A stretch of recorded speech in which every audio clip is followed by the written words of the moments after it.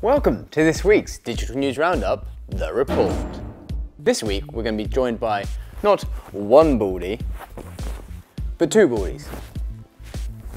Talking about Google's ad placement metrics, the new kind.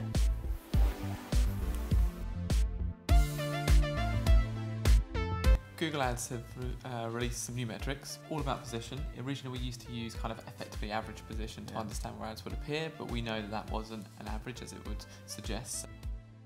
Percentage impressions, absolute top and top, and then search impression share, absolute top and top.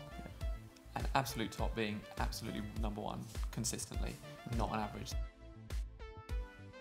With average position, the problem was was um, say you had like position three, um, that could have been as every kind of results um, page is different for each keyword. So position three for one result could be on page two Yeah. because there are a ton of other organic things going on. Whereas now we know that if it's position three but it's in the top, then it's actually above on the first page. Yeah. Going to work really well position-based bidding as well. I guess Mhm. more control. If it's, if position one is really important to you, you know you can can kind of yeah keep your ads there. I guess.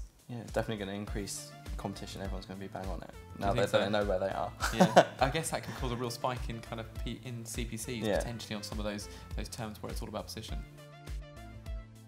I don't know how much of an advocate I am of bidding for position and position Mm. one particularly. You know, you know we're looking at generally limited budgets, so therefore.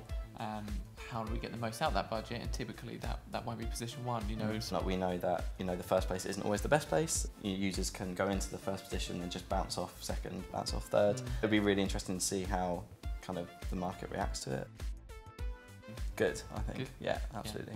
Yeah, I me too. I think you know the more, more transparency, more control is always good. Yeah. As long as long as people are using it for the right reasons Mm. and responsibly. Yeah, Uh, position one can be great, but it isn't always the answer. yeah.